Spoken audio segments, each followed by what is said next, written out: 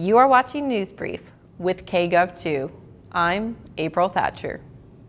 Howard County continues to grow and change, and in the State of the County address, Paul Wyman, Howard County Commission President, says that good things are happening without the burden of excess spending, which is great news. The county has been able to maintain a solid financial footing while taking on additional programs like the County Dispatch and Emergency Management Agency services, saving taxpayers $700,000 per year. Speaking of change, our downtown skyline is quickly going vertical with the construction of the parking garage. Crews have been very busy this winter and have continued to work through much of the extreme winter that we have experienced. Construction is set to be completed by the end of this summer for the parking garage portion, while construction of the apartments will continue after the garage opens for public use. After completion, the structure will consist of a four-story parking garage with a 35-unit apartment complex on the fifth level. If you would like to view a live feed of construction, please visit new.livestream.com backslash KGov and click on the Garage Cam link. The City of Kokomo has plans to purchase a piece of history. Let's take a look.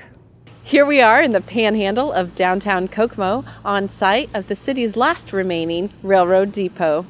The city will soon purchase this depot in hopes of preserving the historic building and redeveloping the area. The city will also create a hub for the connection between the Industrial Heritage Trail and the Nickel Plate Trail.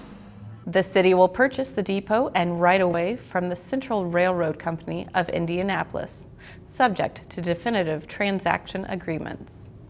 As part of these agreements, CERA will repair and upgrade its six existing railroad crossings within the city by the end of the year.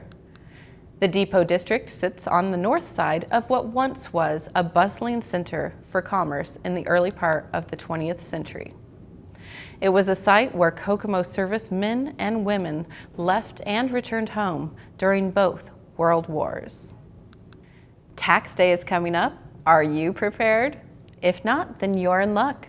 You may file your taxes for free at the Kokomo Howard County Public Library.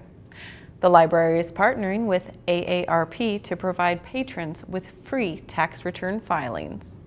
Although this is being sponsored by AARP, there is no age restriction as to who can receive assistance. Call 454-4710 for more information or to schedule an appointment. What a great program. This year, Batman turns 75, and what a better way to celebrate than with a film that showcases the effects the DC Comics character has had on people from all walks of life. Join Geek This Podcast hosts David Clements and David Hunt in a viewing of The Legends of the Knight, and stick around for the recording of a live episode.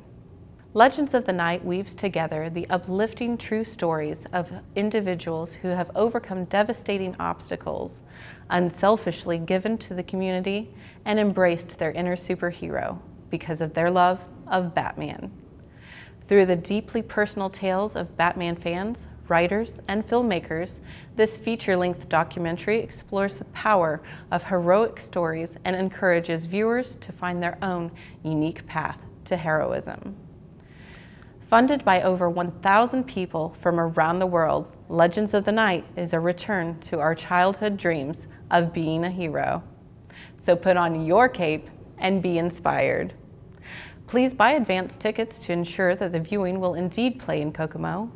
If enough tickets are sold, the event will take place Monday, April 28th at 7.30 p.m. at AMC Showplace in Kokomo.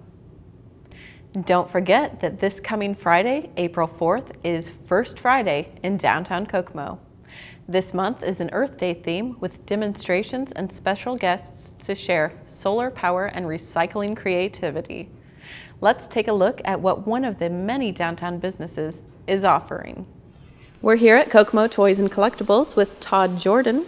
They will be participating in this month's First Friday events. Todd, I hear that you guys have a special guest coming. You want to tell us a little bit about that? That's right. April 4th is First Friday here in downtown Kokomo, and Kokomo Toys and Collectibles is all about nostalgia. So we are happy to announce that we're going to have the one and only original Cowboy Bob from Channel 4. He was on the air for 17 years in the 70s and 80s, and we are excited to have him. Okay, great. We hope to see you guys there. So get on out there and see what downtown has to offer. And now for your local five day forecast.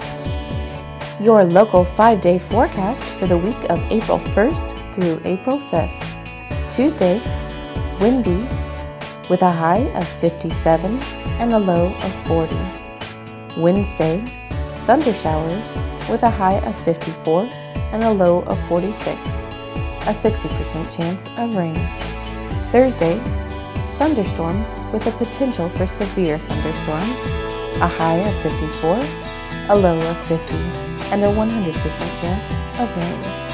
Friday, more showers with a high of 58, a low of 33, and a 40% chance of rain. Your Saturday forecast is partly cloudy with a high of 48, a low of 29, and only a 10% chance of rain. Thank you for watching News Brief. For KGov2, I'm April Thatcher. And now for your local community calendar.